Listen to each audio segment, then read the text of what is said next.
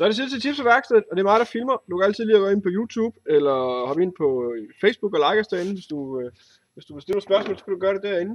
Øhm, jeg har fået sådan en øh, uh, Traxxas ind, og den har smadret koblingen. Og den nemmeste måde at skifte den her kobling på, det er vi at gå skrue hjul og tandhjuler af, og så ind til under koblingsklokken, der sidder koblingen derinde bagved.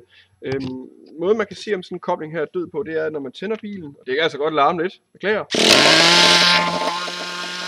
Så vil motoren godt køre.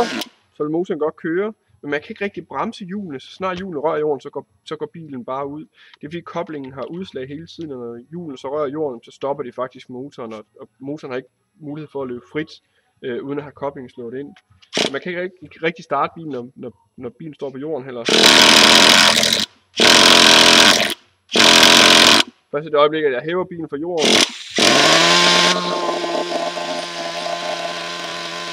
kører den bare. Så det er en død kobling. Det skal vi lige have lavet. Det er ret nemt. Ej, det er forholdsvis nemt, vil jeg sige. Øh, hvis man er helt ny, eller min bedstemor, så kan man altså ikke finde ud af det. Øh, jeg skal have hjulet af, for koblingen sidder herinde under herinde, så jeg skal lige have hjulet af for at komme bedre til, så skal jeg nok lige rejse bilen op, så vi kan, så vi kan se det noget bedre på, på kameraet og det hele.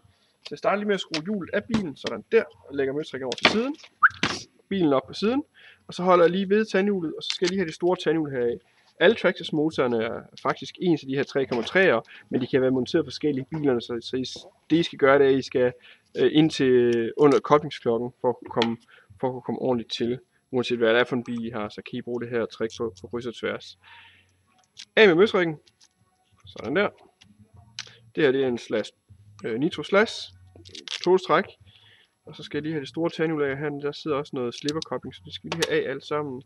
Og jeg tager bare lige, jeg tager bare lige hele lortet af, han har sagt, men, men det er næsten det nemmeste. Sådan der, så der er ikke noget, der, der falder af, når det begynder at rode ved det. Sådan der. Her sidder koblingsklokken. Den skal normalt kunne løbe fuldstændig frit i de to kugler, som, som holder som holder koblingen her. Det kan den altså ikke her. Jeg kan mærke, at den går stramt. Og så snart motoren tænder og bare kører meget lavt i omgang, så drejer den her med. Så vi skal have en baby at kigge. Så jeg skal lige have den her E-klips af. Det kan også være en, en møtrik, der sidder ind i øh, akslen her. Øh, nej, en øh, skrue, ikke møtrik.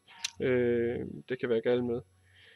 Så kan vi lige løfte hele kobbelflokken af. Pas på, der kan sidde nogle skiver både på inderside og yderside, så dem skal I lige, øh, dem skal I lige passe godt på. Og så sidder der et leje mere her. Det kan enten følge med eller ikke følge med ud på koblingsflokken. Nu fulgte der altså ikke med, så det skal jeg lige løfte af. Sådan der. Og så kan man faktisk se allerede hernede, der faldt øh, der faldt en fjeder ud af bunden på den. Nu skal jeg lige prøve at se, om jeg kan fange med, fange med den her skruetrækker. Den kom her. Det er faktisk, øh, det er faktisk koblingsfjederen. Så der skal en ny til af den her koblingsfjeder. Hernede der sidder de to koblingsbakker. De to bakker, jeg kører lige kameraet en lille smule tættere på. Det her det er koblingsbakkerne. De her bakker de slår ud sådan der og sådan der. Og så tager de ved inden i den her koblingsklokke, øh, når motoren når vis antal omdrejninger. Men hvis fjederen ikke, øh, der så ligger sådan en fjeder rundt om, som ligesom sådan en form for elastik og klemmer de her to bakker sammen. Hvis den ikke er der, jamen, så slår bakkerne ud alt for tidlige omdrejninger, og så, så, så fungerer det altså ikke. Så jeg løfter lige bakkerne op. Sådan der, og sådan der. Og så kan jeg lige stille bilen lidt til side. Øh, for man skal bare have sådan en, en ny fjeder her på. Og øh, der kan I bare skrive en mail ind til mig, support.morfars.dk, hvis I skal bruge en øh, ny fjeder, så vil jeg rigtig, rigtig gerne lige finde en til jer. Jeg kan ikke huske, hvad sådan en koster, men det er ikke, det er ikke alverden. Øh, det er i hvert fald ikke de der vælterbudgetter, når man har en nitrobil. Det må det ikke være. Det kan altså være lidt dyrt. Øh, nogle af de her dele til nitrobil, men lige koblingfjederen, det er ikke, øh, det er ikke voldsomt.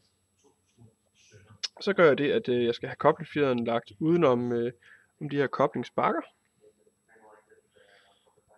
Så der skal man lige være lidt forsigtig, når man lægger fjederen udenom. Sådan der.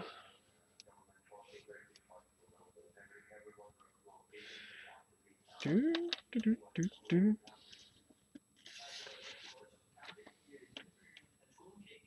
Normalt er det så nemmere, når den sidder på bilen, men jeg vil gerne have med jer, med jer så langt som muligt, så jeg er med, hedder det vel, så langt som muligt. Så man kan prøve at se, om jeg kan gøre det, uden at have monteret det her i bilen.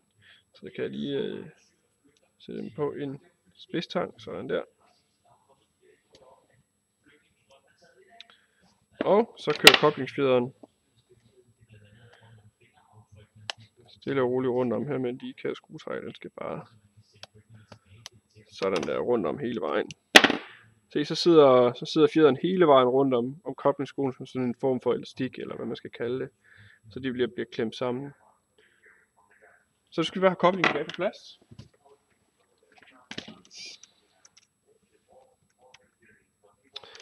Sådan der. Og så de klemmes ned over de her to pinde, som holder de her koblingssko. Sådan der. Og så kan der altså være nogle skiver i. I det her tilfælde er der ikke nogen skiver på indersiden, der er kun et leje, sådan der. Og så er der øh, koblingsklokken og det andet leje, og så ligger der faktisk en enkelt skive på ydersiden, sådan der. Og så skal den her e-clips klips, klipses på.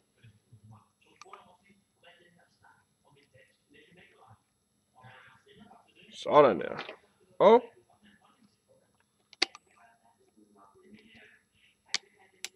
sådan der. Så jeg må se, nu spænder det helt frit. Nu løber det lige så fint herinde. Kan man se det på videoen, at den drejer rundt nu? Der stoppede den. Så ser det ud til at virke, som det skal. Så skal jeg have tandhjulet samlet igen, så der skal jeg lige have det her kørt på baglæns. Og slipper koblingspladen sådan der, og så sidder der sådan en lille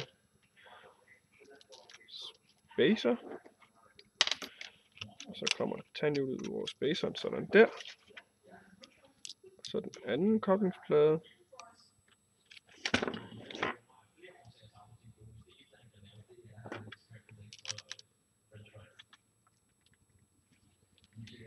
Sådan der.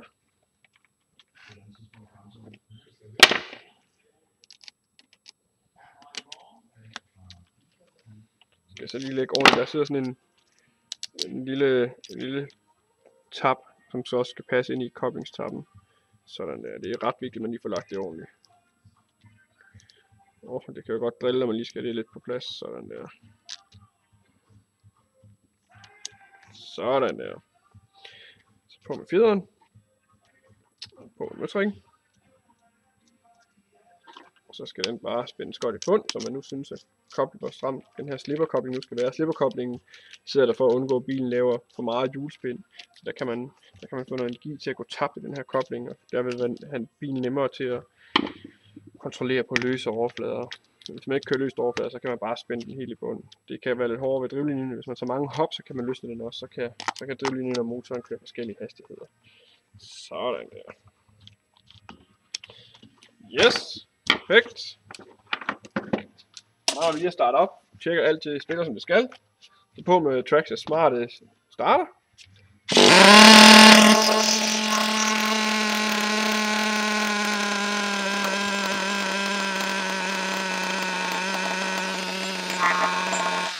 Så nu kan bilen stå, stå på jorden og motoren være i gang. Men øh, så nemt var det lige at skifte en, øh, en koblingsfjeder eller koblingsbakkerne, så jo også, at man havde af på en, på en Traxxas 3,3 motor.